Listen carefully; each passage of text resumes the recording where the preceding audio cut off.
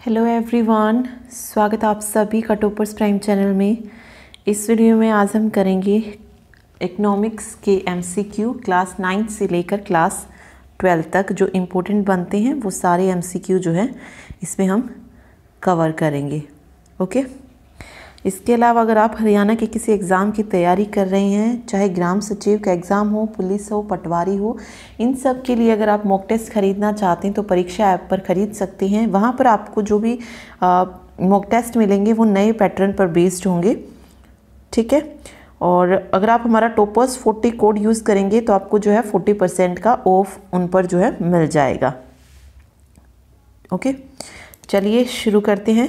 इसके साथ ही अगर क्वेश्चंस आपको अच्छे लगे, पसंद आए तो वीडियो को लाइक ज़रूर करके जाया करें। ठीक है? चलिए देखिए। क्वेश्चन है generally a demand curve of commodity is एक वस्तु का जो मांग वक्र होता है, कैसा होता है? एक्स एक्सिस के पैरेलल होता है वाई एक्सिस के पैरेलल होता है, या स्लोपिंग जो होती है, वो डाउनवर्ड होती है फ्रॉम लेफ़्ट टू राइट या अपवर्ड होती है? डिमांड कर्व जो होती है कॉमोडिटी की। तो देखिए जनरली जो डिमांड कर्व होती है कॉमोडिटी की, वो डाउनवर्ड होती है डाउनवर्ड स्लोपिंग होती है। ठीक है तो याद रखिए, demand curve are downward sloping तो थर्ड ऑप्शन जो होगा यहाँ पे करेक्ट हो जाएगा। इसके साथ ही जिस भी बच्चे को H S C crash course की पीडीएफ चाहिए, जिसमें हम ये सारी चीज़ें करवा रहे हैं M C Q N C R T वो जो है हमारा पैक जो है खरीद सकते हैं। लिंक आपको जो है रजिस्ट्रेशन का नीचे दिया गया है, क्योंकि कुछ बच्चों को कन्फ्यूज़न है कि एक वीडियो की पीडीएफ जो है हज़ार रुपये की है। तो ऐसा नहीं है, पूरा कोर्स जो है वन थाउज़ेंड का है, जिसमें आपको जितनी पीडीएफ आ चुकी हैं, तीन जो है सब्जेक्ट इससे पहले हुए हैं, और आगे भी जो होंगे तो 16 से 17 वीडियो जो है ज़रूर आएँगी। तो उन सभी का जो है चार्ज वन थाउज़ेंड रुपीज़ है। एक पीडीएफ का चार्ज वन थाउज़ेंड रुपीज़ नहीं है। ओके तो जिसको भी चाहिए, वो जाकर जो है रजिस्टर कर सकता है। लिंक आपको दिया गया है डिस्क्रिप्शन में। चलिए, देखिए सेकंड क्वेश्चन है। The law of demand is not applicable when मांग का नियम कब लागू नहीं होता है? देखिए, मांग का नियम क्या होता है? लॉ ऑफ़ डिमांड क्या कहता है? मांग का नियम वस्तु की कीमत और उसकी जो मांगी गई मात्रा है, उसके बीच के रिलेशन को बताता है। ठीक है? अगर वस्तु की कीमत में अगर कोई चेंज होता है तो उसकी जो मांगी गई मात्रा होगी, उसमें भी जो है परिवर्तन होगा, ओके? तो मांग के नियम के अनुसार क्या होता है कि वस्तु की कीमत और उसकी जो मात्रा मांगी गई है, उसके बीच में विपरीत संबंध होता है। मींस अगर वस्तु की कीमत में वृद्धि होगी तो उसकी मांग क्या होगी? घटेगी, ठीक है? अगर वस्तु की कीमत कम होगी तो मांग क्या होगी? बढ़ जाएगी। ओके? तो विपरीत होता है ये। तो मांग का नियम कब लागू नहीं होता है? जब किसी चीज़ का फ़ैशन बदल जाता है, अन्य वस्तुओं की कीमत बदल जाती है, वस्तु की गुणवत्ता में परिवर्तन होते हैं इनमें से सभी। तो बिल्कुल सभी, ठीक है, इनमें से अगर कुछ भी होता है तो मांग का नियम उस पर लागू नहीं होता है। डी ऑप्शन जो है, सही हो जाएगा। ओके? नेक्स्ट देखिए। किसी वस्तु की मांग प्रभावित होती है। Demand for any commodity is affected from utility productivity profitability या नन ऑफ़ दीज किसी वस्तु की मांग कब प्रभावित होती है? ये पूछा गया है। तो देखिए, किसी वस्तु की मांग जो है, बहुत सारे जो कारक होते हैं इसको प्रभावित करने वाले। जैसे वस्तु की कीमत होगी सम, उससे रिलेटेड वस्तुओं की कीमत होगी या क्रेता की आय होगी, रुचि होगी, वरीयता मतलब जो हमने ऊपर पढ़ा, ठीक है? वो प्रभावित करते हैं। तो इनमें से कोई नहीं जो है सही हो जाएगा, ठीक है? मतलब इनमें से कोई भी वस्तु की मांग को प्रभावित नहीं करता है। ओके, अगला देखिए। कॉफ़ी के मूल्य में वृद्धि होने पर चाय की मांग क्या होगी? अगर जो प्राइस है कॉफ़ी का, वो इंक्रीज हो जाए तो टी की डिमांड क्या होगी? तो टी की डिमांड भी क्या हो जाएगी? बढ़ जाएगी। तो यहाँ पर इंक्रीज जो है सही हो जाएगा। ठीक है? क्योंकि जो प्रतिस्थापन वस्तुएँ होती हैं, उनकी कीमत और मांग में जो संबंध होता है, वो क्या होता है? पॉजिटिव होता है। ओके यानी कि अगर कॉफ़ी का मूल्य बढ़ रहा है इंक्रीज हो रहा है तो टी की जो डिमांड है, वो भी क्या हो जाएगी? इंक्रीज हो जाएगी। ठीक है? और अगर कॉफ़ी की कीमत कम होगी तो चाय की मांग भी जो है कम हो जाएगी। नेक्स्ट है, पेट्रोल के मूल्य में वृद्धि से कार की मांग में क्या होगा? Due to increase in petrol the demand for car will अगर पेट्रोल की मूल्य में वृद्धि होगी तो कार की डिमांड घटेगी इस बार। ठीक है? यहाँ पर डिमांड जो होगी कार की, वो डिक्रीज हो जाएगी। तो सेकेंड ऑप्शन करेक्ट हो जाएगा। सेब के मूल्य में वृद्धि के कारण सेब की मांग में क्या होगी? अगर सेब का मूल्य इंक्रीज होगा तो उसकी डिमांड जो होगी, वो कम होगी। तो सबसे पहले हमने वस्तु का नियम यही पढ़ा सॉरी मांग का नियम यही पढ़ा था। अगर वृद्धि होगी तो मांग उसकी कम हो जाएगी। तो यहाँ पर डिक्रीज सही हो जाएगा। ओके? चलिए नेक्स्ट देखिए।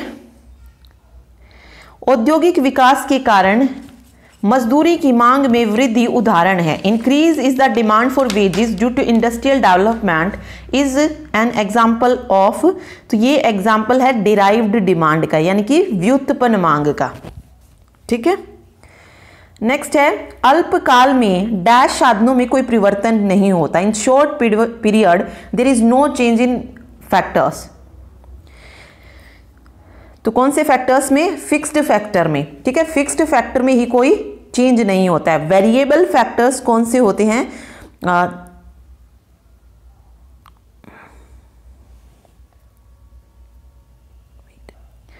वेरिएबल फैक्टर्स वो होते हैं जिसकी मतलब चेंज होते हैं जो during particular period of time वो हमारे वेरिएबल फैक्टर्स होते हैं। फिक्स्ड में क्या रहेंगे? कोई चेंज नहीं आएगा। आगे देखिए modern economics have propounded the law of आधुनिक अर्थशास्त्र ने किस नियम को ईजाद किया? ओके देखिए कौन कौन से ला थे इंक्रीजिंग रिटर्न डिक्रीज रिटर्न और कांस्टेंट रिटर्न उसके बाद जब मॉडर्न इकोनॉमिक आया तो इन तीनों ला को मिलाकर एक ला बना दिया गया। दैट इज़ वेरिएबल प्रपोर्शनल परिवर्तित अनुपात का नियम। ठीक है? जो आधुनिक अर्थशास्त्री हुए, उन्होंने उत्पत्ति के जो तीन नियम थे, उनको मिलाकर एक नया बन, जो बनाया, वो था variable proportional law of variable proportional तो यहाँ पर सही हो जाएगा फोर्थ ऑप्शन ठीक है? चलिए अगला देखिए. In the dash change in all factor of production is possible सभी साधनों में कब परिवर्तन संभव है? किस पीरियड में? लॉन्ग पीरियड में. ठीक है? लॉन्ग पीरियड में जो है पॉसिबल है चेंज इन ऑल फैक्टर्स तो सेकेंड ऑप्शन करेक्ट हो जाएगा. अगला है ओके okay, यहाँ पे एक फॉर्मूला दिया है टोटल प्रोडक्ट बाय आएगा यहाँ पे इस तरीके से। कुल उत्पाद बटे परिवर्तनशील साधन की इकाई यानी कि यूनिट ऑफ़ वेरिएबल फैक्टर्स तो ये किसका फॉर्मूला है? टोटल प्रोडक्ट का एवरेज प्रोडक्ट का मार्जिनल प्रोडक्ट का या फिर एनुअल प्रोडक्ट का? Total product upon unit of variable factors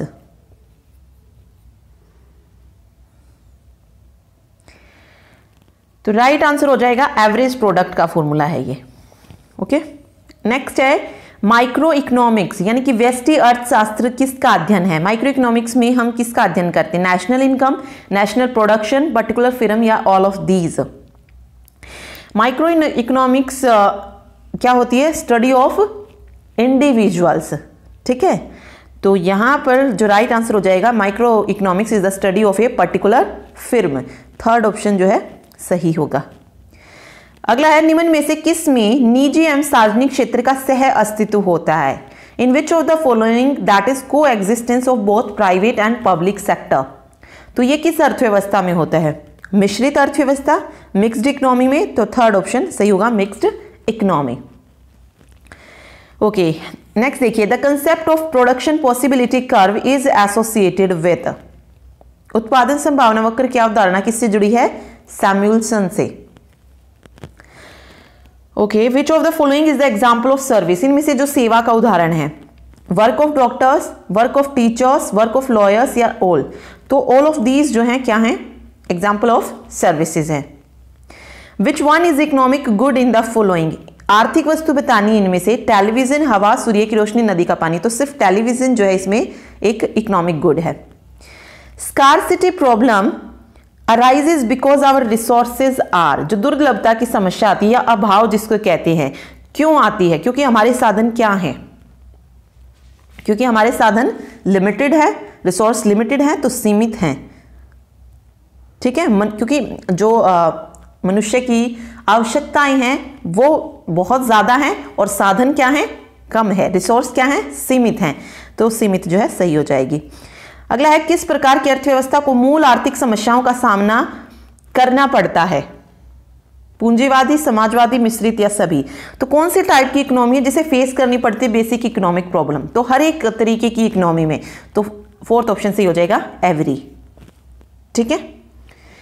next है, सभी आर्थिक समस्याओं के कारण क्या हैं? All economic problems are due to unlimited wants limited means different priorities या ऑल ऑफ़ दीज तो all economic problem are due to all of these जो है यहाँ पर सही हो जाएगा। ठीक है? असीमित इच्छा, सीमित साधन और डिफरेंट प्रायोरिटीज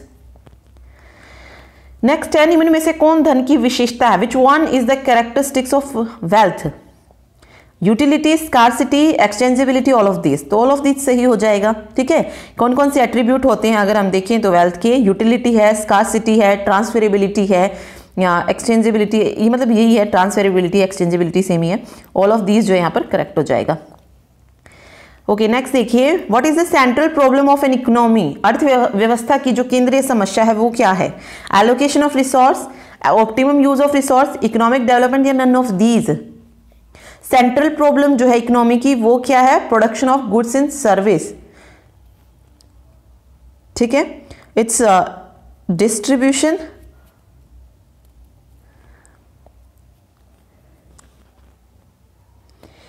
तो वेट या आप ये कह सकते हैं कि जो बेसिक प्रॉब्लम होती हैं फोर बेसिक प्रॉब्लम होती है किसी भी इकोनॉमिक की uh, जो कि अराइज होती हैं for the central problem of scarcity of resources ठीक है? What to produce how to produce और फॉर होम टू प्रोड्यूस तो ये जो है मेन बेसिक प्रॉब्लम होती है किसी भी इकोनॉमी की।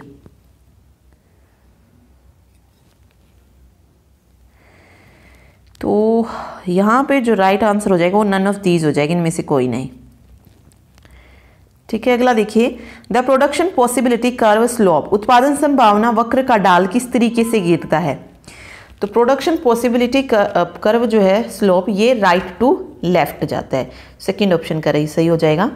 एक देश का आर्थिक विकास निर्भर करता है। कंट्री डेवलपमेंट डिपेंड्स किस पर डिपेंड करता है? Capital resource size of market natural mines तो ऑल ऑफ़ दीज सही हो जाएगा. The main objective of a socialist economy एक समाजवादी अर्थव्यवस्था का जो मूल उद्देश्य है, वो क्या होता है? मैक्सिमम सोशल वेलफेयर यानी कि ज़्यादा से ज़्यादा लोक कल्याण हो उसमें. उपभोक्ता व्यवहार पढ़ा जाता है. कंज्यूमर बिहेवियर किसमें स्टडी किया जाता है? तो कंज्यूमर बिहेवियर को स्टडी करते हैं माइक्रो इकोनॉमिक्स में. Utility is measured by exchange of commodity sale of commodity by money या नन ऑफ़ दीज तो उपयोगिता की माप जो है, किससे मापी जा सकती है? मुद्रा के द्वारा। तो बाय मनी जो है, सही हो जाएगा। गोसेन का प्रथम नियम क्या है? Which is the first law of Gossen Gossen के तीन लाए थे। ठीक है? इसका जो पहला नियम है, वो है law of diminishing marginal utility ये वाला। और जो law of equi marginal utility है, ये जो है, इसका सेकेंड लॉ है। ठीक है? और थर्ड लो क्या है? Scarcity is a precondition for economic value तो यहाँ पे ये सही हो जाएगा। अगला है law of equi marginal utility is propounded by तो अभी बताया मैंने, ये क्या है? गोसेन का लॉ है, ठीक है? तो फ़र्स्ट ऑप्शन सही हो जाएगा। गोसेन का ये सेकेंड लॉ है।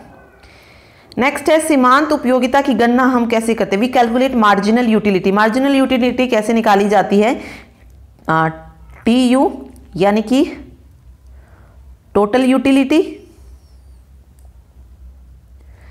और बाय में होता है क्वांटिटी क्वांटिटी यानी कि क्यू। तो यहाँ पे टी यू अपॉन क्यू जो है सही हो जाएगा। राइट right आंसर तो फ़र्स्ट ऑप्शन जो है करेक्ट होगा। ओके चलिए अगला देखिए। उदासीनता वक्र होता है। Indifference curve is convex to the origin concave to the origin both या all of these indifference curve indifference curve होता है convex to the origin okay convex to the origin first who gave the cardinal concept of utility उपयोगिता का गणनावाचक सिद्धांत जो था, ये किसने दिया था? तो ये दिया था एल्फर्ड मार्शल ने। जिसने पहली बार डिस्कस किया था theory of utility in the theory of value okay तो उनकी जो uh, उनका जो कंसेप्ट था यूटिलिटी का वो कैसा था? Cardinal okay okay? अगला है एक उपभोक्ता के रूप में आप as a consumer you will maximise utility purchase more and more commodity reduce production cost and not like to purchase commodity क्या करेंगे एक उपभोक्ता के रूप में आप? उपयोगिता को अधिकतम करेंगे, ठीक है? उपयोगिता यानी कि यूटिलिटी को बढ़ाएँगे तो फ़र्स्ट ऑप्शन सही होगा। मांग के लिए होना क्या ज़रूरी है? For demand it is essential willing for commodity resource will to spend all of these तो ऑल ऑफ़ दीज जो है सही हो जाएगा। जब किसी वस्तु के मूल्य में कमी आती है, तब जब किसी वस्तु के मूल्य में अगर कमी आ रही है when price of commodity decrease जब प्राइस कॉमोडिटी डिक्रीज हो रही है तो वहाँ पर डिमांड भी क्या होगी? डिमांड भी डिमांड डिमांड इंक्रीज हो जाएगी क्योंकि अपोजिट में होता है मांग के नियम तो डिमांड इंक्रीज हो जाएगी ठीक है? जब कमी आएगी मूल्य में तो डिमांड वहाँ पर बढ़ जाएगी। ओके okay, आगे है gift in goods gift in good आएगा यहाँ पे गिव इन गुड्स दिया गया है ये गिफ इन गुड्स है ठीक है? गिफिन गुड इज़, गिफिन वस्तु किस प्रकार की होती है? स्पेशल सुपीरियर नॉर्मल या इनफीरियर तो गिफिन वस्तुएँ होती हैं निकृष्ट इनफीरियर मांग और मूल्य में कैसा संबंध होता है? Relationship between demand and price तो बिल्कुल हमने शुरू में यही पढ़ा था, विपरीत होता है यानी कि इनवर्स होता है। मांग का नियम क्या व्यक्त करता है? The law of demand express the relationship between quantity demand and price of commodities ठीक है? यही दिखाता है। वस्तु की कीमत और मांगी गई मात्रा के बीच के संबंध को दर्शाता है। तो फ़र्स्ट ऑप्शन सही हो जाएगा।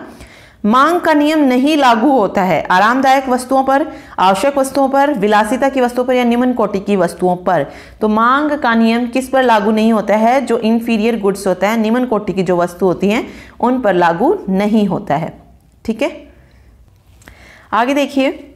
भारत में प्रत्येक डैश वर्ष में गणना की जाती है। तो भारत में प्रत्येक दस साल में जो है गणना होती है तो टेन ईयर सही हो जाएगा।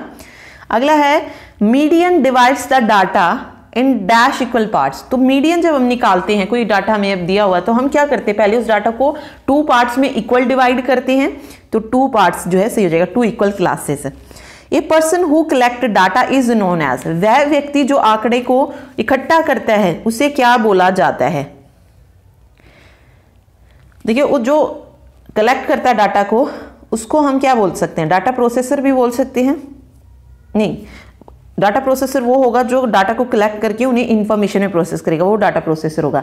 यहाँ पे जो पर्सन कलेक्ट करेगा डाटा को, उसको बोला जाता है एन्यूमरेटर ठीक है? गणनाकार।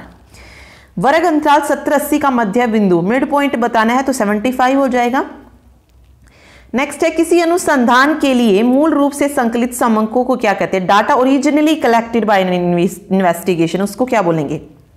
प्राइमरी सेकेंडरी टेरिटरी ओके जो खुद से कलेक्ट किया जा रहा है जो डाटा ओरिजिनल है आ, जो एक इन्वेस्टिगेटर ने खुद कलेक्ट किया है वो प्राइमरी डाटा होगा। ठीक है? सेकेंडरी डाटा कौन सा होता है जो आ, कोई और इकट्ठा करेगा और हम जो है उसको यूज़ करेंगे डाटा को वो हमारा किसमें जाएगा? सेकेंडरी डाटा में जाएगा। तो यहाँ पे प्राइमरी जो है सही हो जाएगा।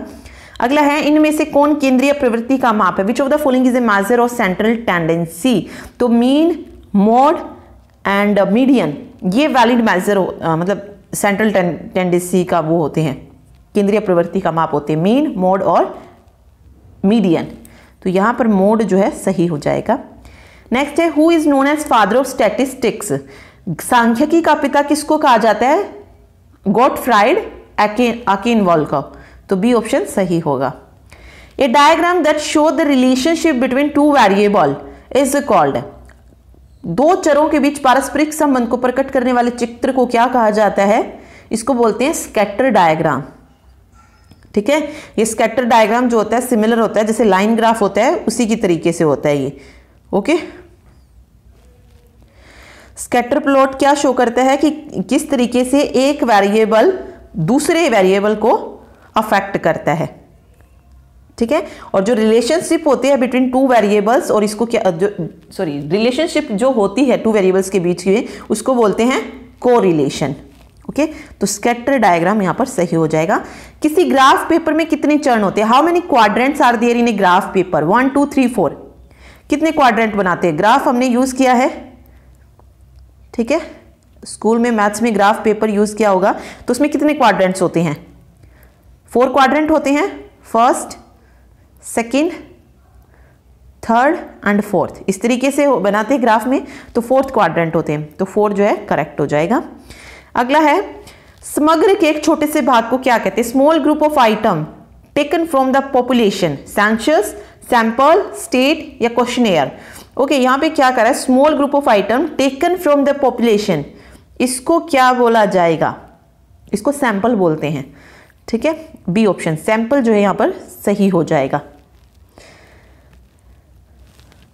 ठीक, चलिए, अगला देखिए।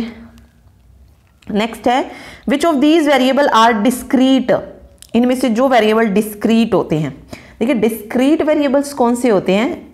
जो कि काउंटेबल हों। ठीक है, जिनको हम काउंट कर सके। क्या वेट वेट हाइट या नंबर ऑफ़ स्टूडेंट्स तो यहाँ पे नंबर ऑफ़ स्टूडेंट्स जो है, हो जाएगा। ठीक है? किस अर्थशास्त्री ने कल्याण संबंधी परिभाषा प्रस्तुत की। Who gave the welfare oriented definition of economics तो ये दी थी एल्फ्रेड मार्शल ने। बी ऑप्शन 16 का। ओके देखिए the process of arranging information in classes according to their resemblance और कैरेक्टरिस्टिक्स कलेक्शन वेरिएशन क्लासिफिकेशन या प्राइवेटाइजेशन तो process of arranging data in the similar groups according to their characteristics तो उसको बोलते हैं classification तो सी ऑप्शन सही होगा classification qualities of a good question are simplicity proper order of question limited number of question या all of these तो all of these सही हो जाएगा। किस अर्थशास्त्री के अनुसार अपकिरण पदों के विचरण का माप है? According to which economist dispersion is the measure of variation of the item तो ये किसने कहा है? बाउले ने। बी ऑप्शन सही होगा। नेक्स्ट है, जब निचली और ऊपरी दोनों सीमाओं पर विचार करते हैं तो ऐसे वर्ग क्या कहलाते हैं? When both lower and upper limit are considered such classes are called inclusive समावेशी। ठीक है? The type of index number are देखिए इंडेक्स नंबर अगर हम देखें तो तीन टाइप का होता है। Value index quantity and price index तो यहाँ पे देखिए consumer price index number wholesale price index index of industrial production तो इनमें से सभी जो है, सही हो जाएगा। A graph of a cumulative distribution function is known as वह ग्राफ जो संचयी आवर्ती वितरण को दर्शाता है। तो क्यूमुलेटिव डिस्ट्रीब्यूशन जो फ़ंक्शन होता है, वो कुछ इस तरीके से एस की फॉर्म में बनता है। इसको बोलते हैं ओजाय तोरण चित्र। ठीक है? नेक्स्ट है, भारतीय सांख्यिकी संस्थान कहाँ स्थापित है? Where is Indian statistical institute located तो ये है कोलकाता में। ठीक है? नेक्स्ट क्वेश्चन है, इनमें से नकद फ़सल बताने which of this is a cash crop धान, गेहूँ, कपास या कोई नहीं तो इनमें से जो नकदी फ़सल है, वो है कपास। नेक्स्ट है world bank is also known as विश्व बैंक को किस नाम से जाना जाता है तो I B R D I B R D का मतलब क्या है? International bank for reconstruction and development ठीक है? और ये एस्टेब्लिश हुआ था 1944 में to be to help rebuild Europe and Japan after world war second ठीक है? तो इसका ऑफिशियल नेम यही है international bank for reconstruction and development okay चलिए अगला देखिए। सरकार द्वारा सार्वजनिक क्षेत्र के समता हिस्सों को निजी क्षेत्र के हाथों बेचना क्या कहलाता है? The process when the government sell of its share capital of public sector undertaking to the private sector इसको क्या बोलेंगे? इसको बोला जाता है डिस इन्वेस्टमेंट ठीक है? विनिवेश बोला जाता है तो बी ऑप्शन सही हो जाएगा. The problem facing human capital information information मानव पूंजी निर्माण में जो बाधा है, बढ़ती जनसंख्या ब्रेन ड्रेन ऑल या लो एकेडमिक लेवल तो ऑल जो है यहाँ पर सही हो जाएगा. आगे है conventional source of energy are commercial source non commercial both या कोई नहीं। तो देखिए, अगर हम देखें तो सोर्सेज ऑफ़ एनर्जी एनर्जी कौन से होते हैं? कन्वेंशनल होता है और नॉन कन्वेंशनल होता है, यानी कि पारंपरिक और गैर पारंपरिक स्रोत होते हैं। तो कन्वेंशनल सोर्स में दोनों ही आते हैं कमर्शियल सोर्स भी और नॉन कमर्शियल सोर्स भी। अब कमर्शियल सोर्स कौन से होते हैं? जैसे कोयला हो गया पेट्रोलियम है इलेक्ट्रिसिटी है, ये कमर्शियल सोर्सेज हो गए। नॉन कमर्शियल में फायरवुड है स्ट्रा है ड्राइड डंग है ये नॉन कमर्शियल में जाएँगे। तो ये दोनों ही क्या हैं? कन्वेंशनल सोर्सेज हैं। ठीक है? चलिए, अगला देखिए, सरकार द्वारा जो कर व्यक्तियों की आय पर लगाई जाती है it tax levied on individual income by government is known as direct tax इसको बोला जाएगा, प्रत्यक्ष कर। निम्न में से कौन सा उद्योग लघु एवं कुटीर उद्योग के अंतर्गत आता है? Which of these industry come under small and cottage industry तो स्मॉल और कॉटेज इंडस्ट्री तो कौन सी हो जाएगी? हैंडलूम यानी कि हथकरघा।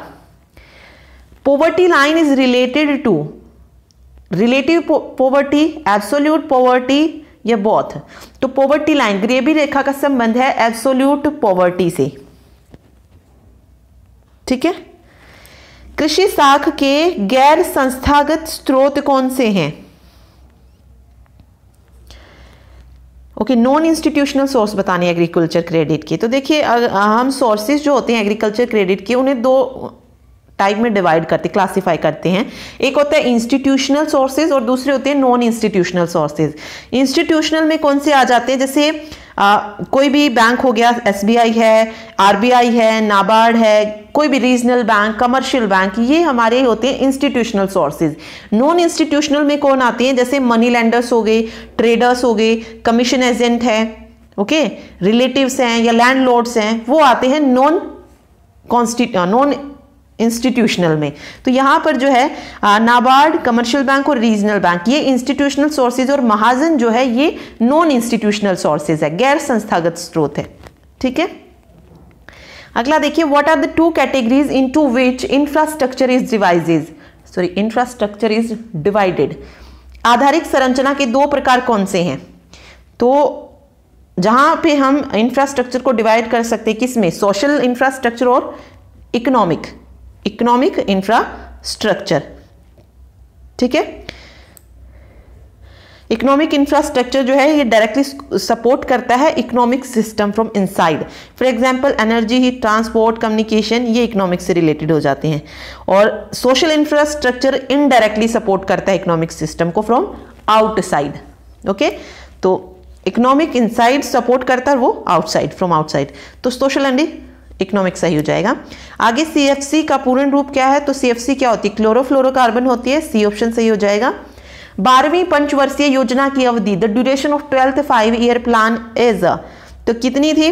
2012 से लेकर 2017 तक थी। First option the source of agriculture credit are कृषि साख के जो साधन हैं landlord rural bank commercial bank सभी ही हैं।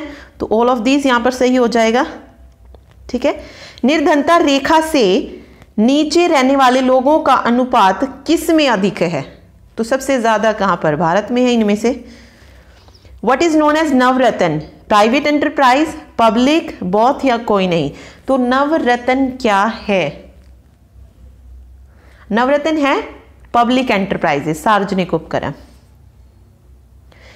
एक ऐसी स्थिति जिसमें श्रमिक वर्तमान मजदूरी दर पर काम करने को तैयार है, परंतु उसे काम नहीं मिलता है। उसको क्या बोलेंगे? When a labour does not get employment opportunity despite his willingness to work at the existing wage rate तो इसको क्या बोलेंगे? अनएम्प्लॉयमेंट यानी कि बेरोजगारी बोला जाएगा इसको। अगला देखिए। नेक्स्ट है, चिपको आंदोलन का उद्देश्य किस वन का संरक्षण था? बिहार, केरल, कर्नाटका या हिमालय? तो उत्तराखंड में चलाए गए थे तो हिमालय के। किसी देश के आयात एवं निर्यात के अंतर को क्या कहते हैं? The difference in export and import import of any country is known as balance of trade direction of trade structure of trade या वॉल्यूम ऑफ़ ट्रेड तो जो डिफरेंस होता है एक्सपोर्ट और इंपोर्ट का, किसी भी कंट्री का, उसको बैलेंस ट्रेड बोला जाता है। For how many days NREGA provide employment employment तो नरेगा में जो है सौ दिन का रोज़गार जो है मतलब सौ दिन का रोज़गार दिया जाता है। डिफोरेस्टेशन लीड वायु प्रदूषण, जैव विविधता, भूमि अवनति, इनमें से सभी तो ऑल ऑफ़ दीज सही हो जाएगा। Human capital consist of workers entire population both worker and entrepreneur या एंटरप्रीन्योर तो ह्यूमन कैपिटल यानी कि मानव पूंजी में क्या सम्मिलित है? बोथ वर्कर्स एंड एंटरप्रीन्योर श्रमिक और उद्यमी दोनों ही। आगे है एस एच जी क्या है? Self help group social help group self hire group या सोशल हेल्थ ग्रुप तो S G S H G होता है स्वयं सहायता ग्रुप यानी कि सेल्फ हेल्प ग्रुप स्वयं सहायता समूह। फ़र्स्ट ऑप्शन ठीक है?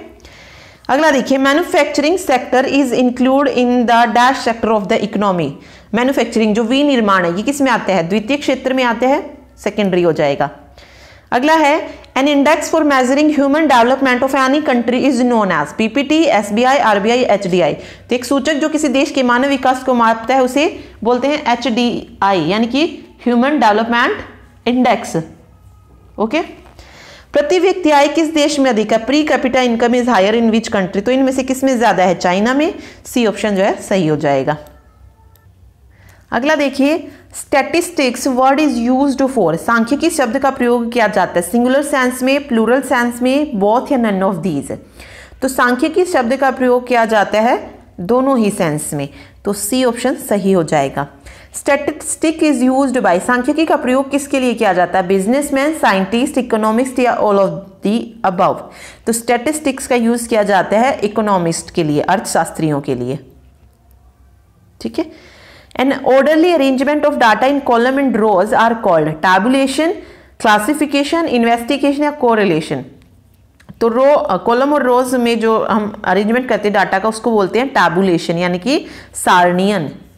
ओके नेक्स्ट देखिए news paper is a source of which type of data primary secondary both या none of these news paper देखिए प्राइमरी डाटा वो होता है जो इन्वेस्टिगेटर खुद से मतलब कलेक्ट करता है, वो प्राइमरी डाटा होता है। लेकिन न्यूज़पेपर में हम क्या कर रहे हैं, किसी की गैदर इन्फॉर्मेशन को जो है हम पढ़ते हैं तो वो हमारा सेकेंडरी डाटा हो जाएगा।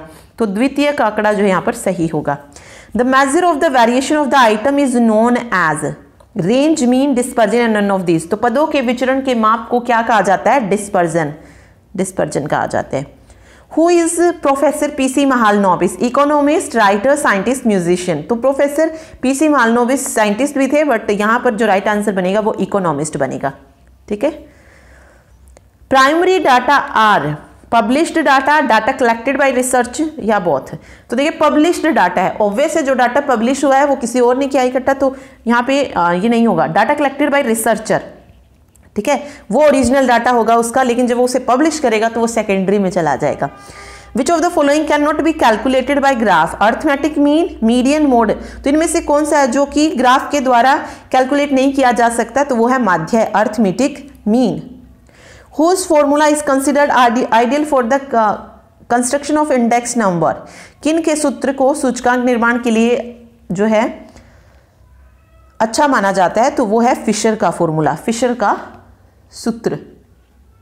ठीक? चलिए, अगला देखिए। Essential quality of a good average is एक अच्छे औसत के गुण होते हैं। सभी clear and stable definition absolute number simplicity all of these जो है सही होगा। नेक्स्ट है who told economics is the science of wealth किसने कहा अर्थशास्त्र धन का विज्ञान है? तो ये कहा था एडम स्मिथ ने। ठीक? Diagrammatic representation of data is known as आंकड़ों का जो चित्र में प्रदर्शन होता है, उसको कहते हैं presentation histogram is a one dimensional figure two dimensional three या मल्टी डायमेंशनल तो हिस्टोग्राम होता है टू डायमेंशनल फिगर द्वि आरेख ग्रीन रिवोल्यूशन इंक्लीड इंक्लूड्स हरित क्रांति क्या सम्मिलित करती है? एच वाई वी यानी कि हाई यील्डिंग वेराइटी के जो सीड्स थी mechanic mechanization of agriculture chemical fertilizers all of the above तो ऑल ऑफ़ दी अबव सही हो जाएगा। ओके नेक्स्ट देखिए when was FEMA executed FEMA कब लागू हुआ था? फीमा का पहले जो नाम था, वो था फेरा फेरा जो कि 1973 में आया था। ठीक है? उन्नीस सौ सत्तानवे के बजट में गवर्नमेंट ने फेरा 97 1973 को रिप्लेस्ड किया था फीमा से। फीमा का मतलब क्या है यहाँ पे? फॉरेन एक्सचेंज मैनेजमेंट एक्ट ठीक है? और फीमा को जो है, दोनों ही हाउस में उन्नीस सौ निन्यानवे में मतलब लाया गया था 1999 में। ओके? और प्रेसिडेंट के अप्रूवल के बाद 2000 में जो था ये लागू हुआ था। ठीक? तो 1 जून 2000 जो है यहाँ पर सही हो जाएगा। नेक्स्ट है with which poverty is disparity of income and its distribution associated with किस प्रकार की निर्धनता से आय की असमानता और वितरण का जो है संबंध है? तो वो होती है absolute poverty economic reform in India was started in Bharat में आर्थिक सुधारों का प्रारंभ। तो ये माना जाता है जून उन्नीस सौ में। जून उन्नीस में नरसिंह राव ने जो थी भारत की अर्थव्यवस्था को नई दिशा जो थी प्रदान की थी। और ये दिशा क्या थी? जो एलपीजी मॉडल आया था इनका लिबरलाइजेशन प्राइवेटाइजेशन और ग्लोबलाइजेशन एलपीजी ये फुल फॉर्म पूछी जाती है। को पूरे देश में जो था आर्थिक सुधारों के रूप में लागू किया गया था। तो एलपीजी मॉडल जो था इन्हीं का था ये याद रखिए। ओके okay, 1991 में। तो बी ऑप्शन सही होगा। Organic farming is a dash farming system organic farming कैसी फ़ार्मिंग है तो सस्टेनेबल फ़ार्मिंग सिस्टम है। ठीक? To which type of infrastructure health is related economic social both या नन ऑफ़ दीज अब तो infrastructure health is related to एक minute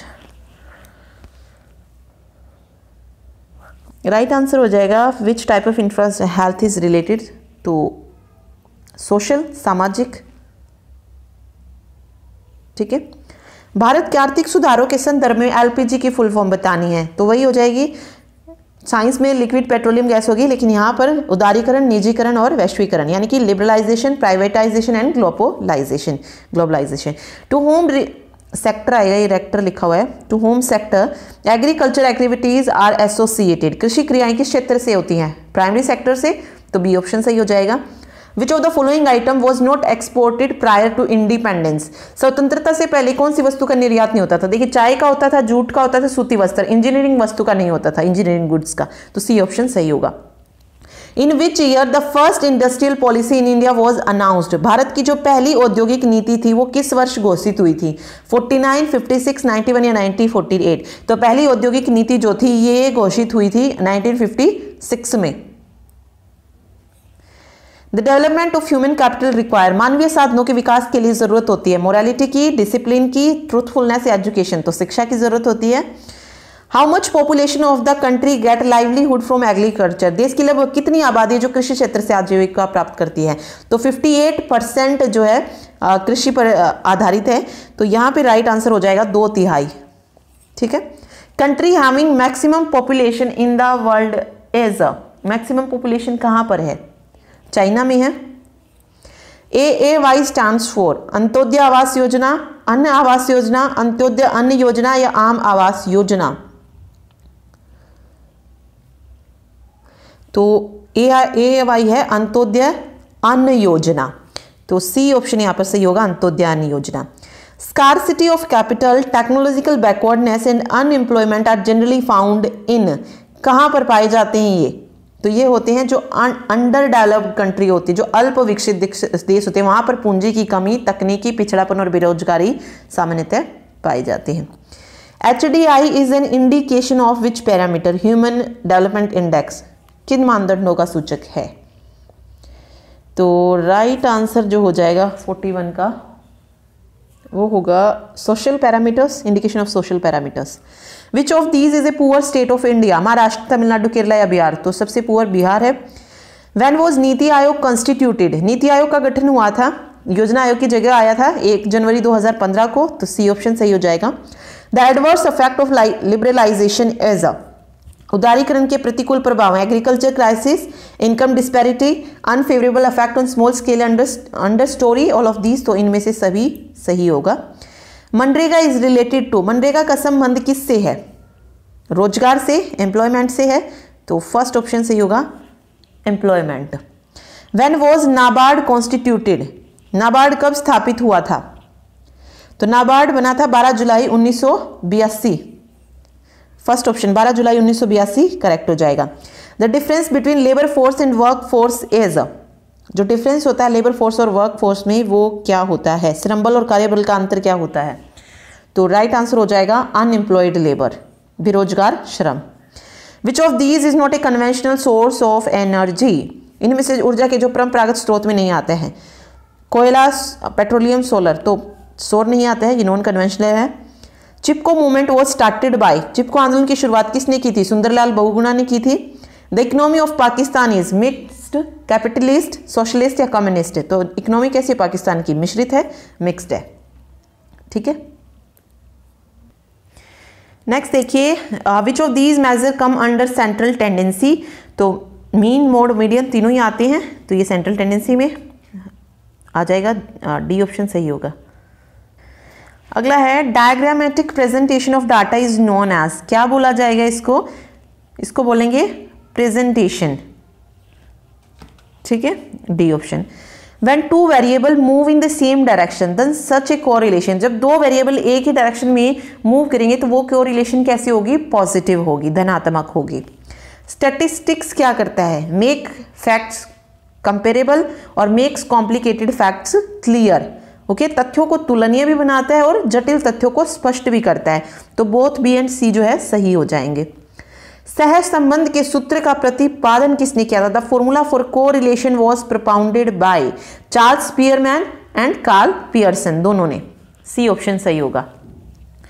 किस श्रेणी के उस मूल्य को क्या कहते हैं जो सबसे अधिक बार आता है? Means that value of a series that occurs maximum time in the series mean median mode या डिस्पर्जन तो इसको बोला जाता है मोड सी ऑप्शन जो है करेक्ट हो जाएगा यहाँ पे। ठीक है? नेक्स्ट देखिए। That method in which data are collected covering every item of the universe और population relating to the problem under investigation is known as sample method census method both या नन ऑफ़ दीज तो sample हमने पढ़ा है। ये नहीं होता जो स्मॉल ग्रुप हम लेते हैं, वो सैंपल में आता है। तो यहाँ पे ये जो हो जाती है, ये होती है जनगणना विधि। ठीक है? यहाँ पे हम जो कलेक्ट कर रहे हैं वो एवरी आइटम ऑफ़ यूनिवर्स है। तो यहाँ पर ये सेंसस मेथड हो जाएगा, जनगणना विधि। अगला है which is the number of time an item repeat itself in the series तो कौन सा है जो बार बार आता है? डाटा फ्रीक्वेंसी नंबर या वेरिएबल तो राइट आंसर हो जाएगा। किसी समग्र में एक मत जितनी बार आती है, उस मद को क्या कहा जाता है? तो उसको बोला जाता है frequency frequency is the number of item in item repeat itself in the series okay which of this is an economic activity consumption distribution production all of this तो ये तीन तीनों ही क्या हैं? इकोनॉमिक एक्टिविटीज़ हैं। तो डी ऑप्शन जो है, सही हो जाएगा। Production consumption capital formation distribution are called basic economic activities ठीक है? ओके नेक्स्ट है formula for finding mid value is given by mid value का फॉर्मूला जो है, इनमें से कौन सा होता है? तो L1 one plus L two by two से निकालते हैं तो ये हो जाएगा। वे चित्र जिसमें आंकड़ों को दंडों या आयतों के रूप में प्रकट किया जाता है। Those diagram in which data are present in the form of bar और रेक्टेंगल्स वो कैसे होते हैं? तो उनको बोला जाता है बार डायग्राम, दंड चित्र। ठीक है?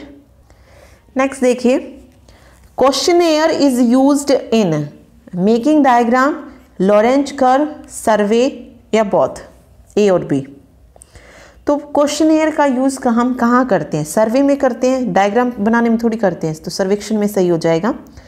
ओके नेक्स्ट देखिए नेक्स्ट क्वेश्चन है which economist propounded the scarcity related definition दुर्लभता संबंधी जो परिभाषा थी, वो किसने दी थी? कौन थे उसके प्रतिपादक?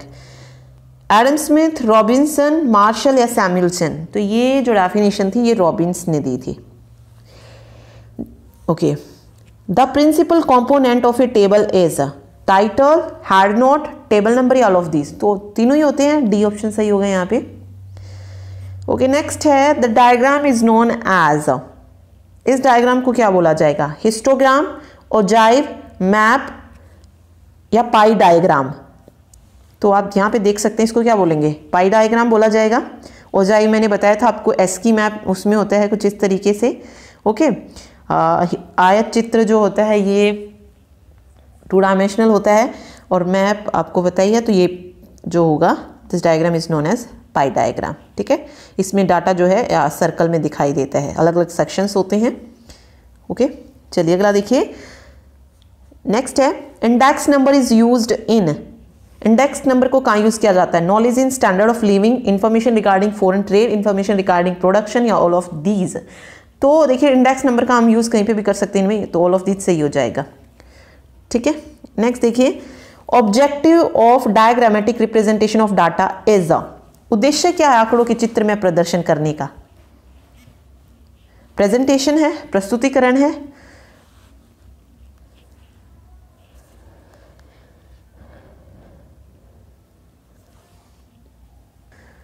डायग्रामेटिक रिप्रेजेंटेशन से हम क्या कर सकते हैं?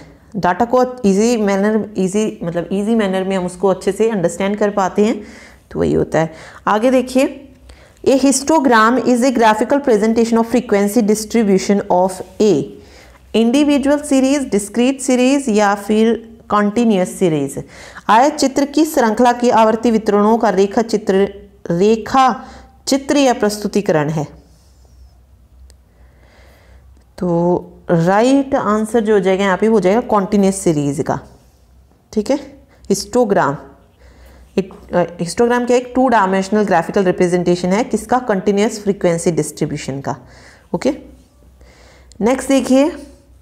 The simplest method of measuring dispersion of data range median mode या अर्थमेटिक मीन तो समको के अपकरण मान, मापने की जो सबसे सरल इकाई है, वो कौन सी है? तो राइट आंसर हो जाएगा रेंज ठीक है? रेंज नेक्स्ट देखिए। Banking sector is include in the dash sector of the economy तो बैंकिंग सेक्टर किसमें आता है? तृतीयक में टेरिटरी में तो फ़र्स्ट ऑप्शन सही होगा। अगला है according to H D I which country is leading in its indicators इसके संकेतकों में सबसे जो आगे है, पाकिस्तान, नेपाल, चाइना या इंडिया। तो राइट आंसर जो हो जाएगा, वो होगा चाइना। ठीक है? Which is the apex institute at national level providing rural credit in India N B A R D NABARD उसी को लिखा गया है तो यहाँ पे राइट आंसर नाबार्ड हो जाएगा। ठीक है?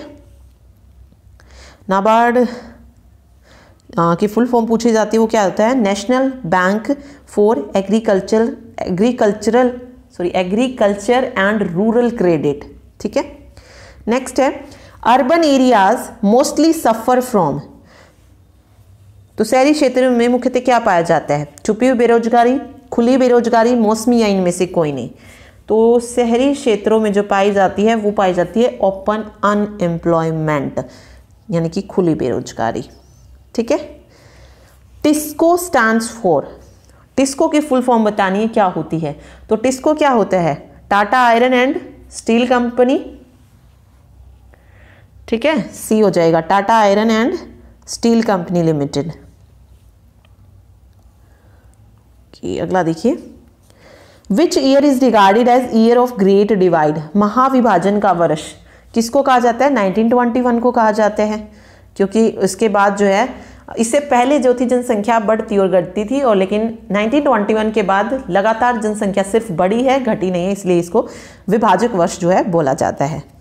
ठीक है? अगला है sustainable development is the development which satisfies the need सतत विकास के अंतर्गत किन की आवश्यकताओं की संतुष्टि की जाती है? Only present generation future both या नन ऑफ़ दीज तो राइट आंसर हो जाएगा both present and future generation ठीक है? भारत में किस प्रकार की अर्थव्यवस्था देखी जा सकती है? तो इंडिया में जो इकोनॉमी है, वो है मिश्रित, यानी कि मिक्स्ड इकोनॉमी है। ठीक? चलिए अगला देखिए। In 1978 policy of reform and opening up was launched in which country उन्नीस में तीव्र औद्योगिकी समृद्धि की शुरुआत किस देश में जो है की गई थी? तो कहाँ पर जो है ये लॉन्च हुई थी? ये लॉन्च हुई थी चाइना में। ओके? नेक्स्ट है। Lowering the value of domestic currency in relation to other currency of the world is known as अपने देश की मुद्रा का मूल्य विश्व के दूसरे देश की मुद्रा की तुलना में घटाने को क्या कहा जाता है, इसको बोला जाता है डिवैल्यूएशन अवमूल्यन जो है, इसको कहा जाएगा। ठीक है? डब्ल्यू डब्ल्यू टी ओ क्या है? वर्ल्ड ट्रेड ऑर्गेनाइजेशन है तो फ़र्स्ट ऑप्शन सही होगा यहाँ पे। ओके वाइड है सॉरी वर्ल्ड ट्रेड आएगा। वर्ल्ड ट्रेड ऑर्गेनाइजेशन तो वो वर्ल्ड ट्रेड ऑर्गेनाइजेशन सही हो जाएगा। ठीक है?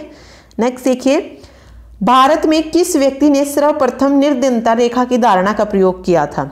Who was the first to use the concept of poverty line in India तो कौन थे? दादा भाई नोरोजी। तो डी ऑप्शन सही होगा यहाँ पे। डी और इनकी बुक भी थी poverty and the un British rule in India और यहीं पर जो थी, उन्होंने फॉर्मुलेट की थी पॉवर्टी लाइन जिसकी रेंज इन्होंने रखी थी sixty two rupees thirty five per capita per year okay next है positive impact of the LPG policy LPG policy हमने ऊपर पढ़ी क्या है? इसका जो पॉजिटिव इम्पैक्ट आया, वो क्या था? तो international recognition growing economy growth in industrial production all of these जो है सही हो जाएँगे। ठीक है? When was the first data census collected during British India Bharat में प्रथम जनगणना ज्योति कब संपन्न हुई थी? तो देखिए अठारह तो ऑप्शन में नहीं है तो दूसरी जो हुई थी वो अठारह ठीक है? अठारह सही होगा। नेक्स्ट है first five year plan focused on which मतलब किस प्रोडक्शन पर जो था, ध्यान दिया गया था। प्रथम पंचवर्षीय योजना की प्राथमिकता क्या थी? राइट right आंसर जो हो जाएगा, वो हो जाएगा एग्रीकल्चर ओके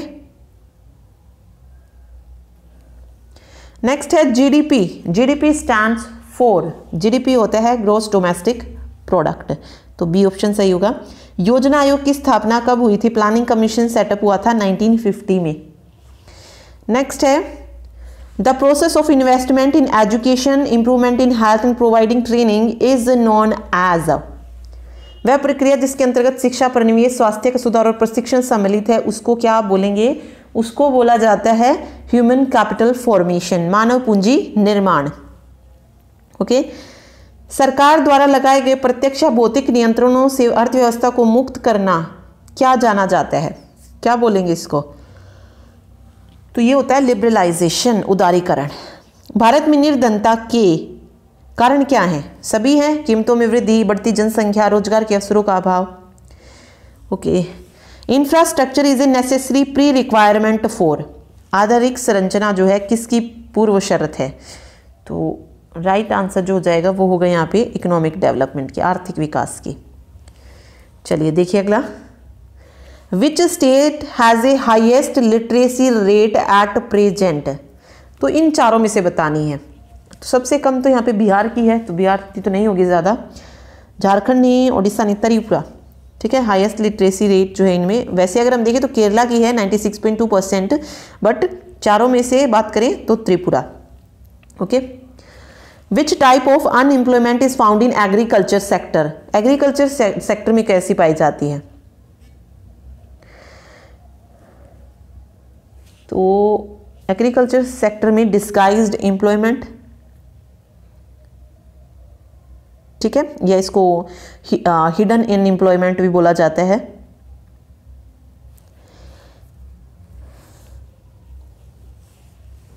इसका, चलिए अगला देखिए। नेक्स्ट है source of non commercial energy as a fuel wood coal petroleum या इलेक्ट्रिसिटी तो यहाँ पे जो नॉन कमर्शियल एनर्जी हो जाएगी, वो कौन सी होगी? फ्यूल वुड ये कमर्शियल में आ जाएँगे तीनों। पर्यावरण में हानिकारक पदार्थों की उपस्थिति को क्या कहते हैं? Presence of harmful particles in the environment is called pollution प्रदूषण कहा जाएगा। ठीक है? नेक्स्ट क्वेश्चन देखिए फाइनेंशियल ईयर इन इंडिया इस भारत में जो वित्तीय वर्ष है वो कहाँ से कहाँ तक है? तो एक अप्रैल से लेकर इकतीस मार्च तक। ओके तो फ़र्स्ट ऑप्शन जो है करेक्ट हो जाएगा। ठीक है? नेक्स्ट है study of national income is related to राष्ट्रीय आय विषय किस विषय से संबंधित है? यहाँ पे नेशनल इनकम की बात हो रही है। देखिए माइक्रो इकोनॉमिक्स की में हम किसकी स्टडी करते हैं? इंडिविजुअल्स यानी कि किसी पर्टिकुलर फ़िल्म की यूज़ बारे में पढ़ते हैं। ओके तो यहाँ पर मैक्रो इकोनॉमिक्स जो है सही हो जाएगा। ठीक? चलिए नेक्स्ट देखिए। The general theory of employment interest and money was written by ये किसने लिखी है? मार्शल रेगनर कीन्स या रिकार्डो तो ये लिखी है जॉन मेनार्ड कीन्स ने, ठीक है? The general theory of employment interest and money तो कीन्स यहाँ पर सही हो जाएगा, okay? Mountain and rivers are national capital national wealth real capital international capital तो माउंटेन और रियर क्या रिवर क्या है? पर्वत और नदियाँ क्या है? राष्ट्रीय धन है नेशनल वेल्थ है। ठीक है? ओके चलिए नेक्स्ट देखिए। An economy which has economic relation to other countries is known as close economy open economy self reliant economy none of the above एक अर्थव्यवस्था जिसका आर्थिक संबंध दूसरे देशों से होता है, उसे क्या कहा जाता है? उसको बोलते हैं ओपन इकोनॉमी ठीक है? और क्लोज्ड इकोनॉमी कौन सी होती है? इंडिपेंडेंट होती है। Means no import and no export कोई इम्पोर्ट कोई एक्सपोर्ट नहीं होता है। ठीक है? तो यहाँ पर ओपन इकोनॉमी सही हो जाएगा इसमें।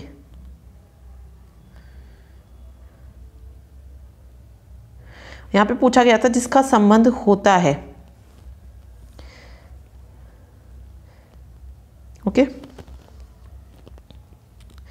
नेक्स्ट है consumption of fixed capital is also known as अचल संपत्ति के उपभोग को। क्या कहा जाता है? इसको बोलते हैं depreciation consumption of fixed capital is also known as depreciation ठीक है? हास। अगला देखिए value added is ascertained as मूल्यवर्धन किस तरीके से जाना जाता है मूल्यवर्धन को? तो राइट आंसर हो जाएगा sales price minus cost of intermediate goods fourth option जो है, सही होगा यहाँ पे। ओके नेक्स्ट है। National income is calculated through income method output method expenditure तो ये तीनों ही मेथड से जो है हम नेशनल इनकम को कैलकुलेट करते हैं। तो डी ऑप्शन जो है, सही होगा all of the above the great depression of the world took place in 1920, 25, 30 या 35 तो विश्व की जो महामंदी थी ये कब घटित हुई थी? 1930 में उनतीस तीस ठीक है? तो याद रखिए उनतीस से उनतालीस तक थी एग्जैक्ट अगर हम देखें तो अगर ऑप्शन में थर्टी है तो थर्टी सही होगा। चलिए अगला देखिए Keynes assumed the situation of Keynes ने कहा था कि अर्थव्यवस्था में किस किस स्थिति होती है? तो राइट आंसर हो जाएगा अंडर एम्प्लॉयमेंट अपूर्ण रोज़गार की स्थिति होती है। ठीक है? मल्टीप्लायर इज़ इक्वल टू गुणक बराबर होता है किसके? Changes in income by changes in investment first option जो है, सही हो जाएगा। अगला देखिए fiscal policy is also called राजकोषीय जो नीति होती है, उसको हम किस नाम से जानते हैं? Fiscal policy is also called इसको बोला जाता है बजटरी पॉलिसी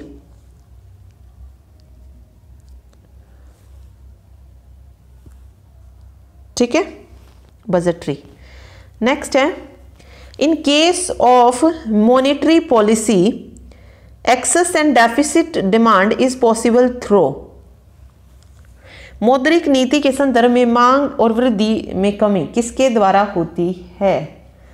तो राइट आंसर हो जाएगी बैंक रेट पॉलिसी और credit control first and second ठीक है? नेक्स्ट देखिए। Number of central bank in a country is केंद्रीय बैंक की संख्या किसी देश में कितनी होती है? तो एक होती है। सेंट्रल बैंक एक होता है। अगला देखिए। अगला है central bank grant loan to जो केंद्रीय बैंक होता है, वो किसको ऋण देता है? तो वो कमर्शियल बैंक को ऋण देता है। नेक्स्ट है credit creation is controlled by government central bank commercial bank या नन ऑफ़ द अबाउ तो क्रेडिट क्रिएशन को कौन कंट्रोल करता है? सेंट्रल बैंक और सेंट्रल बैंक कौन है इंडिया में? Reserve bank of India RBI next है which one of the following is the tax revenue of the government excise wealth tax entertainment tax या ऑल ऑफ़ द अबव तो all of the above ये आय के स्रोत है, सरकार की कर आय के। ठीक है? नेक्स्ट देखिए। Balance of payment deficit can be corrected by भुगतान संतुलन घाटा ठीक किया जा सकता है किसके द्वारा? तो राइट right आंसर होगा यहाँ पे all the above import substitution export promotion और increase in production all the above जो है करेक्ट हो जाएगा। ओके? नेक्स्ट है Abid Hussain committee was established in 1999, 1974, 64 या 84 तो ये कमेटी जो थी इसकी स्थापना पूछिए कब हुई थी? तो इस कमेटी की स्थापना हुई थी उन्नीस सौ चौरासी में। ठीक है? Okay. Dash is the short form of export import तो शॉर्ट फॉर्म कौन सी है? एक्जिम है एक्सपोर्ट इंपोर्ट एक्जिम ओके अगला देखिए।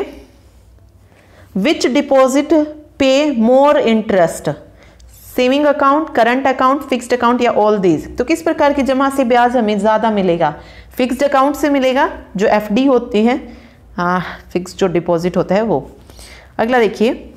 नेक्स्ट जो क्वेश्चन है who has the right to issue the paper note in India जो पत्र मुद्रा जारी करने का अधिकार है, वो पूछा है कि किसके पास होता है? तो वो होता है आरबीआई के पास रिज़र्व बैंक ऑफ़ इंडिया ठीक है? The name of central bank in India is तो कौन सा है? आरबीआई है रिज़र्व बैंक ऑफ़ इंडिया है। ओके? नेक्स्ट है। Fourteen bank of India were nationalized in Bharat के जो चौदह प्रमुख बैंकों का जो राष्ट्रीयकरण हुआ था, वो कब हुआ था? उन्नीस सौ उनहत्तर में हुआ था। ठीक है? चलिए अगला देखिए। Which economist has given the transaction approach of money मुद्रा के जो आदान प्रदान का जो दृष्टिकोण है, ये किस अर्थशास्त्री ने दिया था? तो ये दिया था फिशर ने। फिशर फिशर ट्रांजेक्शन अप्रोच बोलते हैं। अगला है state bank was established in state bank की स्थापना कब हुई थी? 1955 में हुई थी। तो 1955 जो है, सही हो जाएगा। एक जुलाई एक जुलाई 1955 में। ठीक है? नेक्स्ट है इंपीरियल बैंक ऑफ़ इंडिया को परिवर्तित किया गया है। Imperial bank of India was transformed in तो किसमें ट्रांसफॉर्म किया गया है? स्टेट बैंक में। तो थर्ड ऑप्शन स्टेट बैंक जो है, सही हो जाएगा। नेक्स्ट है Keynes theory is associated with Keynes का जो सिद्धांत है, ये किससे संबंधित है? Effective demand propensity to consume propensity to save तो ऑल ऑफ़ दी अब जो अब जो है सही हो जाएगा यहाँ पे। ठीक है? नेक्स्ट देखिए। On which of the following Keynes theory of employment depends upon effective demand supply production efficiency and okay Keynes का जो रोज़गार का सिद्धांत है। ओके okay, देखिए केन्स का सिद्धांत जो संबंधित था इनसे था लेकिन रोज़गार सिद्धांत किस पर निर्भर करता है केन्स का? इफ़ेक्टिव डिमांड पर। ठीक है? नेक्स्ट है। Okay which factor affect Keynesian multiplier कौन सा जो कारक है किनेंशियन गुणक को प्रभावित करता है? तो वो है मार्जिनल प्रोपेंसिटी टू सेव और marginal propensity to consume both ठीक है? चलिए अगला देखिए। Keynes derived investment multiplier from Kahn investment multiplier from Kahn क्या हो जाएगा यहाँ पे? राइट आंसर यहाँ पे हो जाएगा एम्प्लॉयमेंट मल्टीप्लायर ठीक है? In the situation of deflationary gap कौन सी मदे भुगतान शेष में सम्मिलित होती हैं? राइट आंसर हो जाएगा यहाँ पे सप्लाई इंक्रीज रैपिडली जो पूर्ति तेज़ी से बढ़ती हैं। ठीक है? Which item are include in balance of payment include आएगा। Which item are include in balance of payment visible invisible capital transfer या ऑल दी अबव तो राइट आंसर हो जाएगा all the above okay which one is the item of capital account पूंजी खाता का जो एक मद है, इनमें से कौन सा है? Government transaction private foreign direct investment या ऑल दी अबव तो right answer all the above ठीक है? Which one is the item of current account import of visible item expenses of tourist export of visible item या all the above तो ये भी यहाँ पे ऑल दी अबाउ सही हो जाएगा चालू खाते आइटम है। नेक्स्ट है the component of balance of payment are current account capital account both है नन ऑफ़ दीज भुगतान शेष के घटक हैं तो राइट आंसर बोथ करंट और capital account trade balance mean trade balance का मतलब क्या होता है? Capital transaction import and export of good total debit and credit all of the above तो व्यापार शेष का अर्थ है ऑल दी अब, नहीं sorry import and export of good वस्तुओं का आयात और निर्यात, व्यापार का अर्थ है। और भुगतान शेष विजिबल आइटम जो होते बैलेंस ऑफ़ पेमेंट की। मशीन सीमेंट वस्त्र, उपयुक्त सभी तो ऑल दी अब यहाँ पर सही हो जाएगा। नेक्स्ट है which one is the invisible item of balance of payment यहाँ पे विजिबल आइटम पूछा था तो मशीन, वस्त्र सीमेंट इनविजिबल जो होती है, वो कौन सी होती है? जहाज़, रानी शिपिंग बैंकिंग कम्युनिकेशन तो ऑल दी अब यहाँ पर सही होगा। ठीक है? नेक्स्ट क्वेश्चन देखिए, भारत में किसे बैंकों का बैंक कहा जाता है? यानी कि बैंक ऑफ़ द बैंक किसको बोलते हैं? आरबीआई को रिज़र्व बैंक ऑफ़ इंडिया को। निम्न में से कौन मुद्रा का प्राथमिक कार्य है? Which one is included in the primary function of money तो राइट आंसर हो जाएगा मेजर ऑफ़ वैल्यू नेक्स्ट है which one is included in the secondary function of money transfer of value store of value या both तो right answer जो होगा यहाँ पे, वो होगा बोथ मूल्य का स्थानांतरण और मूल्य का संचय द्वितीय कार्य है। ठीक है? तो मेजर ऑफ़ वैल्यू जो है प्राइमरी फ़ंक्शन है और सेकेंडरी में जो आप देख सकते हैं स्टोर वैल्यू और ट्रांसफ़र वैल्यू आएगा। ठीक है? अगला देखिए। The function of money include value determination store of value medium of exchange all of the above तो फोर्थ ऑप्शन करेक्ट हो जाएगा। नेक्स्ट है which one is not the function of money जो फ़ंक्शन ऑफ़ मनी नहीं है measure of value store the value transfer of value stabilization of value तो जो इनमें से आ, मुद्रा का कार्य नहीं है वो है स्टेबलाइजेशन मूल्य का स्थिरीकरण। ओके नेक्स्ट देखिए। India's largest bank is Bharat का जो सबसे बड़ा बैंक है वो कौन सा है? State Bank of India S B I in India currency note is issued by तो भारत में करेंसी कौन इशू करता है? आरबीआई करता है रिज़र्व बैंक ऑफ़ इंडिया ठीक है? नेक्स्ट है Reserve Bank of India was established in भारतीय रिज़र्व बैंक की स्थापना कब हुई थी? तो 1935 में हुई थी। सेकेंड ऑप्शन जो है, सही हो जाएगा आरबीआई एक अप्रैल 1935 नेक्स्ट देखिए monetary policy is related with public expenditure tax public debit या ओपन मार्केट ऑपरेशन तो मॉनेटरी पॉलिसी मौद्रिक नीति जो है, ये किससे संबंधित होती है? ओपन मार्केट ऑपरेशन खुला बाज़ार नीति से। सेंट्रल बैंक ऑफ़ इंडिया क्या है? What is central bank of India तो राइट right आंसर जो हो जाएगा वो है कमर्शियल बैंक क्या है? एक वाणिज्यिक बैंक है। Okay who is known as the father of economics father of economics किसे कहा जाता है? एडम स्मिथ को। Which of the following is the agent of production land labour capital all the above जो है करेक्ट हो जाएगा। डायरेक्ट टैक्स कौन सा इनमें से? Income tax gift tax both या नन ऑफ़ दीज तो जो डायरेक्ट टैक्स है इनमें से कौन सा है? तो दोनों ही क्या है? डायरेक्ट टैक्स है। इनकम भी और गिफ्ट भी। बोथ जो है सही हो जाएगा। नेक्स्ट देखिए which of the following is an indirect tax तो सेल्स टैक्स हो जाएगा, क्योंकि वो बाकी दो तो क्या है? डायरेक्ट टैक्स है। ओके चलिए, अगला है भारत में वित्तीय वर्ष है, एक अप्रैल से। एक अप्रैल टू मार्च इकतीस, ठीक है। फ़र्स्ट ऑप्शन जो है, सही हो जाएगा। नेक्स्ट देखिए study of national income is related with तो ये मैक्रो इकोनॉमिक्स से रिलेटेड है। The general theory of employment interest and money किसके द्वारा लिखा गया था? तो कीन्स के द्वारा। पर्वत और नदियाँ क्या हैं? नेशनल वेल्थ हैं। एक अर्थव्यवस्था जिसका आर्थिक संबंध दूसरे देशों से होता है, वो ओपन इकोनॉमी होती है। नेक्स्ट देखिए consumption of fixed capital is also known as अचल संपत्ति के उपभोग को हम क्या कहते हैं? तो राइट right आंसर जो हो जाएगा, यहाँ पे उसे डेप्रिशिएशन बोला जाता है। Value added is ascertained as sales price minus cost of intermediate national income is included calculate कैसे की जाती है? तीनों मेथड से की जाती है। महान मंदी 1930 में ओके ये वही क्वेश्चन है, हमने कर ली हैं ये सारे ही।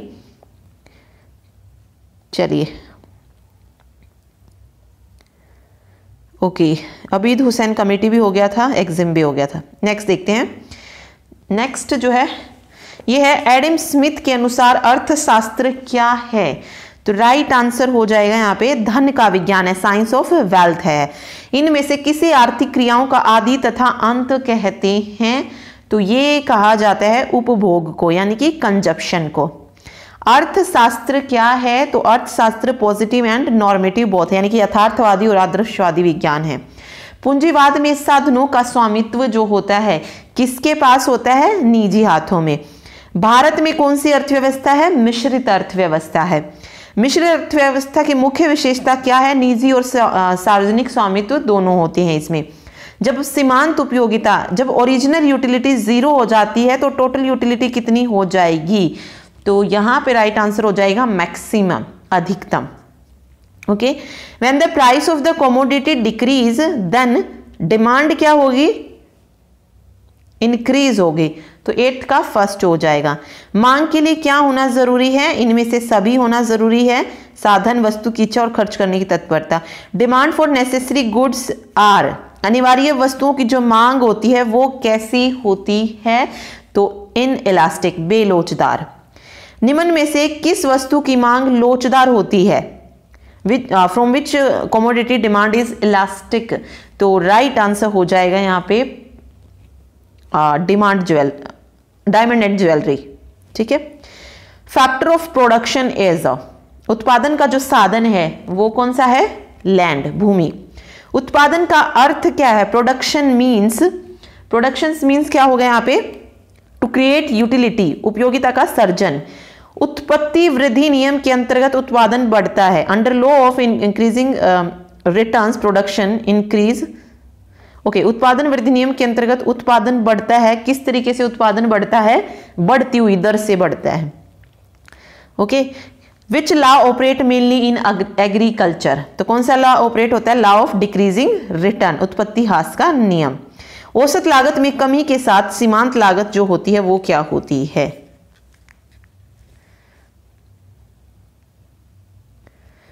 When average cost decrease marginal cost decrease ठीक है? अगर एवरेज कॉस्ट डिक्रीज हो रही है तो मार्जिनल कॉस्ट भी क्या होगी? डिक्रीज होगी. As unit of sales increase average revenue औसत आय क्या होगी? औसत आय जो है डिक्रीज होगी. जैसे जैसे बिक्री की इकाइयाँ बढ़ेगी, औसत आय डिक्रीज होती जाएगी.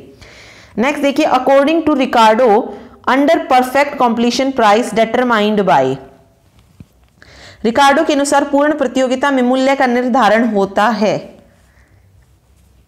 तो राइट आंसर हो जाएगा बाय प्रोडक्शन कॉस्ट उत्पादन व्यय के द्वारा।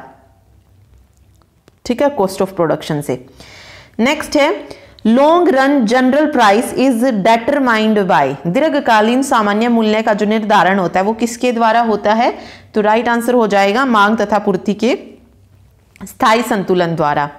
Okay a a monopolist maximize his profit when एकाधिकार अपना लाभ तभी अधिकतम कर सकता है जब सीमांत लागत सीमांत आय के बराबर जब मार्जिनल कॉस्ट जो है वो इक्वल है मार्जिनल रिवेन्यू के। ठीक है? Who is known as the father of economics तो एडम स्मिथ को कहा जाता है। कौन भूमि उत्पादन का घटक है? तो लैंड है, प्रत्यक्ष कर दोनों ही हैं। ओके ये भी जो है, हो चुके हैं क्वेश्चन चलिए नेक्स्ट देखते हैं। In the situation of deflationary gap कौन सी मदे हैं जो भुगतान शेष में सम्मिलित हैं? तो राइट right आंसर हो जाएगा supply increase rapidly second option ठीक है, भुगतान संतुलन में कौन सी मदे शामिल होती हैं? तो तीनों होती हैं, दृश्य, अदृश्य और पूंजी अंतरण। पूंजी खाता एक कैसी मद है? कैपिटल अकाउंट मतलब पूंजी खाते इनमें से कौन सा मद है? तो यहाँ पे भी ऑल दी अबाउ सही होगा government private and foreign direct which one is that item of current account तो इम्पोर्ट एक्सपोर्ट और एक्सपेंसिस ऑफ़ टूरिस्ट भुगतान के घटक, चालू खाता और पूंजी खाता. कंपोनेंट्स जो होते हैं बैलेंस ऑफ़ पेमेंट के करंट और capital account trade balance means क्या होता है? Capital transaction total debit credit import and export of goods okay which one is the visible item of balance of payment machine cement and cloth एक minute trade balance mean import export second option इसमें सही रहेगा. Import and export of goods ठीक है? इसमें से दृश्य मद बतानी है. Balance of payment visible item जो है, वो हो जाएगा उपयुक्त सभी. ओके अदृश्य मद में बैंकिंग संचार, ये उपयुक्त सभी. ओके नेक्स्ट देखिए रोबिन्सन द्वारा अर्थशास्त्र को दी गई परिभाषा के संबंध में क्या सही नहीं है? दुर्लभ साधन उद्देश्यों के प्रति तटस्थता भी सही अर्थशास्त्र का सकारात्मक प्रावैगिक दृष्टिकोण सही नहीं है। स्पष्ट कीजिए कि अर्थशास्त्र क्या है? तो अर्थशास्त्र एक विज्ञान अथवा कला है जो कि इस बात पर निर्भर करता है कि अर्थशास्त्र का प्रयोग कौन और किस उद्देश्य के लिए करता है। किसी अर्थव्यवस्था की प्रमुख समस्या का संबंध किससे है? तो साधनों की दुर्बलता तथा आवश्यकताओं की बहुलता से है। उत्पादन संभावना वक्र के संबंध में क्या सही नहीं है पूछा है तो राइट आंसर जो हो जाएगा, वो हो जाएगा साधनों के पुनः आवंटन का अभाव। माइक्रो या मैक्रो इन शब्दों का प्रयोग सर्वप्रथम किस अर्थशास्त्री के द्वारा किया गया था तो रेगनर फ्रिश के द्वारा। वेस्टी अर्थशास्त्र किसका प्रयोग करता है तो राइट आंसर होगा सीमांत विश्लेषण का। अर्थव्यवस्था का चक्राकार भाव जो सर्कुलर फ्लो की व्याख्या है, ये किससे संबंधित है? तो व्यष्टि भाव और समष्टि भाव का परस्पर संबंध। कुल उपयोगिता अधिकतम है जब सीमांत उपयोगिता औसत उपयोगिता के बराबर है। एक प्यासे व्यक्ति को पानी का दूसरा गिलास कम संतुष्टि देता है। इस की व्याख्या किस नियम के अंतर्गत जो है आती है? तो उपयोगिता हास के नियम। मांग का नियम अन्य बातें समान रहने पर किसके बीच संबंध व्यक्त करता है? तो वस्तु की कीमत और उसकी मांग की मात्रा के बीच। गणन संख्यात्मक दृष्टिकोण उपभोक्ता संतुलन की व्याख्या के लिए निम्न से किस धारणा का प्रयोग करता है? तो राइट आंसर होगा सम सीमांत उपयोगिता। मांग वक्र का ऊपर की ओर विवर्तन इस ओर संकेत करता है कि इसी कीमत पर अधिक मात्रा में। गिफिन पदार्थों का मांग वक्र जो होगा वो कैसा होता है? बाई और पीछे गिरता हुआ। कीमतों में परिवर्तन के प्रभाव में मांग की मात्रा में परिवर्तन क्या कहलाएगा? तो इसको कहा जाता है विस्तार अथवा संकुचन। कीमतें स्थिर रहने पर उपभोक्ता की आय में वृद्धि का परिणाम क्या होगा? तो मांग में वृद्धि। ठीक है? मांग के उपयोगी उपयोगिता विश्लेषण से संबंधित मान्यताओं में क्या सही नहीं है? पूछा है तो वो हो जाएगी वस्तु की कीमत यथास्थिर रहना। निम्न में से कौन सा एक कथन जो है गलत है? एक उदासीनता वक्र दाई और नीचे गिरता है। वक्र का उद्गम बिंदु की ओर उद्भुज होना इस ओर संकेत करता है कि बाएँ से दाएँ और जाने पर वक्र की ढाल में गिरावट आती है। जो गलत है वो ये है कि एक उपभोक्ता के लिए दो वस्तुओं के बीच प्रतिस्थापन की लोच शून्य होती है। ठीक है? उपभोक्ता के संतुलन का बिंदु वह है जहाँ कीमत अथवा बजट रेखा उदासीनता वक्र को स्पर्श करती है। उदासीनता वक्र विश्लेषण के प्रतिपादक कौन है? तो वो हैं हिक्स तथा एलेन। उपभोक्ता की मौद्रिक स्थिर रहने पर एक वस्तु की कीमत कम होने पर यह नहीं होगा कि, क्या नहीं होगा? कीमत रेखा बाई और खिसक जाए। नेक्स्ट देखिए रिकार्डो के अनुसार पूर्ण प्रतियोगिता में मूल्य का निर्धारण होता है। किसके द्वारा होता है उत्पादन? व्यय द्वारा बाय प्रोडक्शन कॉस्ट दीर्घकालीन सामान्य मूल्य का निर्धारण होता है। लॉन्ग रन जनरल प्राइस जो है, ये किसके द्वारा डिटरमाइन किया जाता है? तो ये डिटरमाइन किया जाता है मांग तथा पूर्ति के स्थायी संतुलन के द्वारा। ओके नेक्स्ट है। A monopolist maximize his profit when तो राइट आंसर इसमें सीमांत लागत, सीमांत आय के बराबर है। ठीक है?